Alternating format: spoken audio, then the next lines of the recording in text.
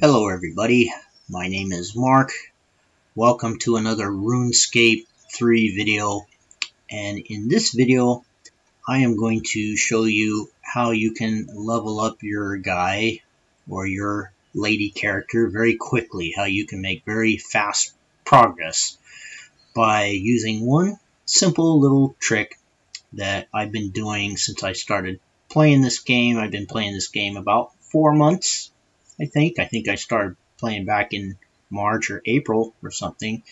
And if you look at my stats here over on the left, my stats are pretty well balanced. And I didn't plan it out that way per se, but it just happened like that. And I'm going to show you, uh, I'm going to show you how all this happened and how you can uh, le level up, train your guy very quickly.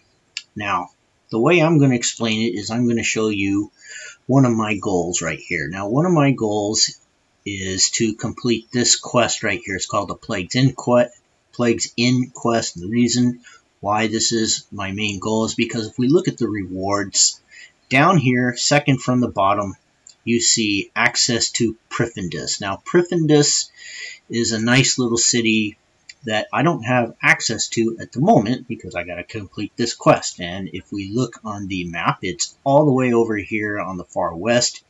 And the rest of the map, I've got access to everything else. Okay, and I really want to get access to this city because in this city, I am very well aware that you can kill frost dragons and they drop bones that are worth 20,000 gold, I believe.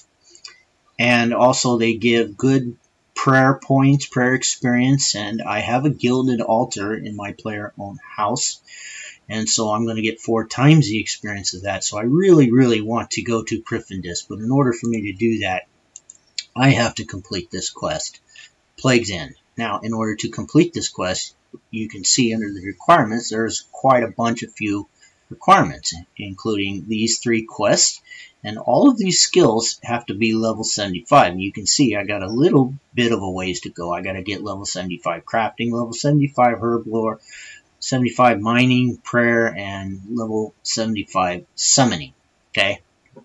And this requirement here within the light, I literally just completed it a couple days ago, like two days ago. Okay. And let me go to this quest right here and we can take a look at these requirements. These are the requirements for this particular quest within the light, which is a requirement for the Plague's End quest, okay?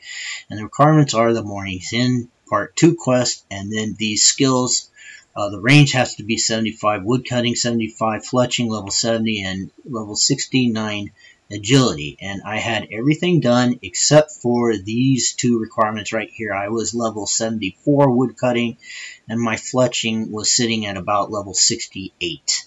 Okay, so I had to get those two requirements done before I could complete this within light, which I literally just did two days ago. Now, the way I did it, now, the fastest way to train woodcutting at after you hit level 70 is to chop ivy, okay? And the ivy over here, eh, I'll, I'll, just show you where it is real quick. It's over here by Falador. And so I'm going to go ahead and teleport over to the Falador. And then we're going to walk over by the, the castle there. And it's not very far away. If we, let me, let me rearrange my camera a little bit. And so I'm going to walk over here a little bit to the left. Okay, and that's the lodestone right there. So I'm going to walk to the left. You look at my mini map, my mini map's a little green arrow. Right past that green arrow is this little bit of ivy here. Okay, and so once you hit like level 70 or, or may, I think maybe even level 68 or 69, you can start chopping this ivy, and it's very fast experience to chop this ivy. And you see, I just got 332 experience points for chopping that. You can't get anything like that nowhere near chopping the trees or, or, chopping other things. So I could, if I want, I didn't do this, and I'll explain why in a second, okay? But if I wanted to, I could have sat here and I could have chopped this, this ivy, and I could have very quickly got my wood cutting up to level 75 but I didn't do that. And the reason why I didn't do that is because if we go back to this quest, this uh, within the light, and we go back to the requirements, I also needed to get level 70 fletching. So my wood cutting was at 74 and my fletching was at level 68. Now when you're at level 68 fletching, then the fastest way to train up to your fletching is by fletching uh, yew uh, bows. The uh, uh, where where is it at? Let me let me just show you in the skills here. So if we look under the fletching right here, and then we go here, I'll just show you under 65 yew short bows. Okay, so the fastest way, and I was level 68, so I knew ahead of time that I needed to get lots of yew longs, right? And if I wanted to, I got the money. If you look in the lower right corner here, I got the money. I got 21 mil in gold. So if I wanted to, I could have very easily just gone to the Grand Exchange and bought a bunch of Yew-Logs and very easily trained up my fletching to level 70, right? But I didn't do that, and I didn't chop the ivy. So what I instead decided to do is I decided to chop yew trees, okay? Now, the yew trees, the best place to go for the yew trees is I have this Cape of Legends, and so I can teleport, right-click the Cape of Legends, and teleport right over to the Legends Guild, and we rearrange, and right here is a yew tree. So I that's what I did. I did not chop the ivy. I chopped these yew trees. And by doing that, it gave me the logs and simultaneously trained up my wood cutting to level 75. And by doing that, I saved both time and money. Okay, I saved money by very simply, I didn't have to buy the yew logs. And I saved myself time because let's say I would have did it the other way. I would have bought these yew-logs from the Grand Exchange. Then I maybe I don't know if I would have spent all my money, but I might have spent a lot of my money. Then I would sooner or later have to go out and do something to make some money. Use one of the money making methods that I'm aware of. You know, I could have, and I would have had to. I don't know what some good way. Tanning leather is a good way to make money. Uh, I think you can make three to four mil an hour tanning leather. Or I could have did some combating. I could have done some mining, the runite ore uh, I know you can. There's a place over. Uh, let, me, let me bring up my lodestone. There's a place way out here by Tirannwn where you can pick white berries, and you can make a million and a half gold per hour just picking a white berry. It's pretty amazing the ways that you can make money uh, in this game. That just the the silly little ways you can make money. You, uh, if I wanted to, I could uh, teleport over here to Seers Village, and I could I could collect honeycombs, and I could make about eight hundred thousand per hour but why do that when I could do this? I could chop down these yew trees, collect yew trees by saving myself money. Number one, I don't have to buy the yew logs. Saving myself time, I don't have to go out and do something unrelated to my goals of getting a Prifddinas and getting that Plague's End quest. So that's what I did, and by doing that, I was able to train up my wood cutting, and then once I had all the logs, then I teleported over here to the Lumbridge lodestone, and then up to the north of the lodestone, uh, let me try that again. Okay, so I'm going to teleport to the Lumbridge lodestone, and then up to the north of the lodestone is the Combat Academy. Okay, and then at the Combat Academy, uh, if you don't know about this, then you're going to be very happy you're watching this video if you don't know about this. Okay, so I'm at the lodestone, and then right up here to the north is a big hangout. It's like a big powwow of people. And here's a little secret, okay? It's This is world number 84 that I'm on. So if I click half the worlds, okay, notice I'm on world 84. Okay, the reason is, is because it is a portable skilling world. Okay, so if you go to this world and then you go to this combat academy, you see all these people here, and then right here, there is portable crafter, portable Fletcher. So that's what I did. I clicked on the portable Fletcher, and then I was able to fletch all of these these uh, shield bolts, or the short bolts right here, okay? And the short bolts gave me 67 experience. I can do shield bolts because now my my fletching is level 70, but at the time I wasn't level 70, and so I just clicked on the fletch like that, and then I just I was able to train up my fletching like that, and I got all these these short bows like that. And so by doing it this way, and by using the slower method of chopping the yew trees and not going to Falador, not chopping the ivy, then I was able to train up both my fletching and my wood cutting, and I was able to very quickly and easily accomplish my goal. So let me go back to Taverley here and get out of this nonsense. It's making all these noise and it's messing up my video too. I probably should have muted all of this, but uh, we're going to press on with this video. Let me get out of here and get back to Taverley. Okay, so that was the way that I killed two birds with one stone by getting that up. Okay, now I'm out of there. Now it's nice and peaceful. Now all we can hear is birds, right? No more of, of all that craziness. Okay, so let me go back to the Taverley Bank. Okay, and let me pull up my Plague's Ends quest. Okay, so I got that done, and then I completed the Within the Light quest. Okay, quest complete. I did it two days ago. Now that's knocked out of the way, and so that's one step closer to my ultimate goal of getting the Prifddinas.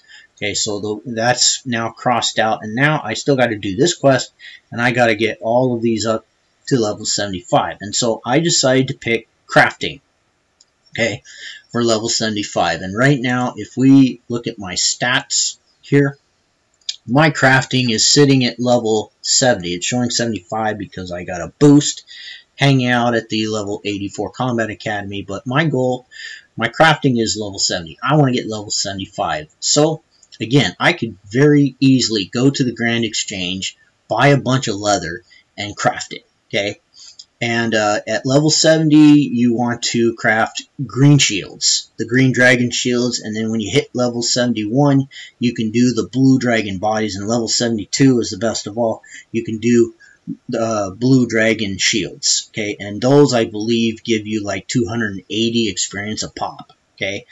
And right now I'm level 70, so I would do green dragon shields. And I could very easily go to the bank and buy all the green leather and I could craft the green dragon shields. But I'm not going to do that, right? Because I know that I am going to be training my crafting and I need the blue dragon leather. So of course I'm not going to do that. So what I'm going to do is instead of buying all the leather, I am going to kill the Blue Dragons, and that's why I'm sitting here at, Taver at Taverley Bank because the Blue Dragons are very close to where I'm at. So to kill the Blue Dragons, then I need to go to the Taverley Dungeons, and I'm going to hop, skip, and jump over this little agility shortcut. I don't remember what the what the requirement is, and now bammo kazamo, I'm at the Taverley Dungeon, and so I'm going to climb down the steps and I'm going to go into the dungeon and now to get to the blue dragons are right over here just to the right.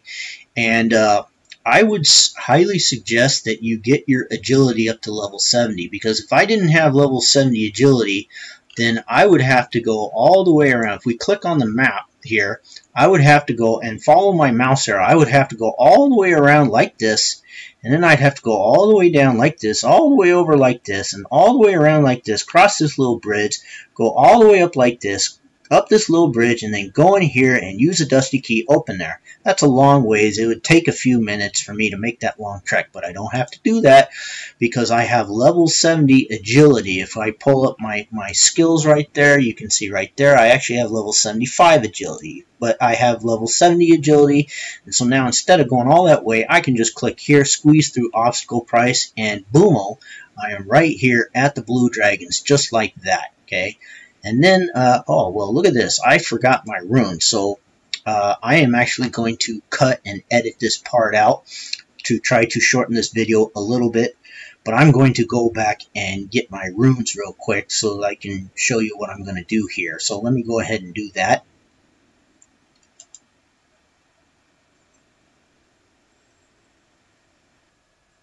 Okay, I am back and I got all the stuff I need. I got my runes and I also brought a war tortoise pouch so I could carry extra so I could carry extra inventory.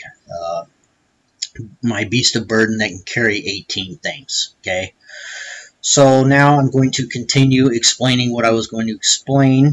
And I'm here in the lair of the blue dragons, getting ready to kill these blue dragons and get myself some blue dragon hides and then I'm going to go back to that combat academy. I'm going to tan the leather and then I'm going to craft the leather into the blue dragon shields or whatever I can get it into okay?